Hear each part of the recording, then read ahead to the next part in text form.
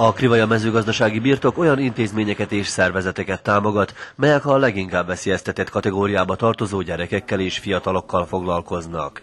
A felhívásra az egész országból érkeztek pályázatok.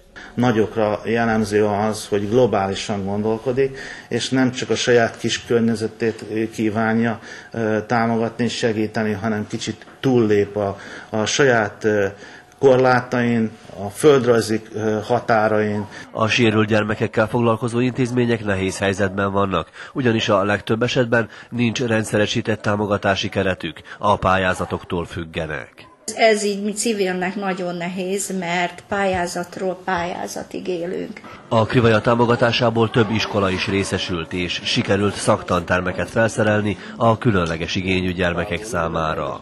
Nagyon nagy segítséget nyújtott nekünk, hogy tudtunk fejlesztő játékokat, fejlesztő eszközöket vásárolni, ezeknek a gyerekeknek a számára, és ezzel szép eredményeket értek el a kollégáink az iskolában, tehát sikerült fejleszteni a tanulóinknak a képességeit.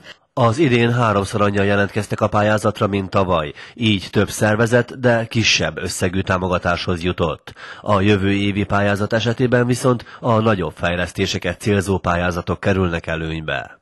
Azokat a pályázókat, amelyek megfelelnek a kritériumoknak, mind behelyezzük egy, egy nagy dobozba, és sorsolni fogunk. A tervek szerint összesen 10 donációt fogunk odaítélni. A krivajai birtok magáncégként összesen 9000 euró értékben biztosított támogatást gyermekekkel foglalkozó intézmények és szervezetek számára.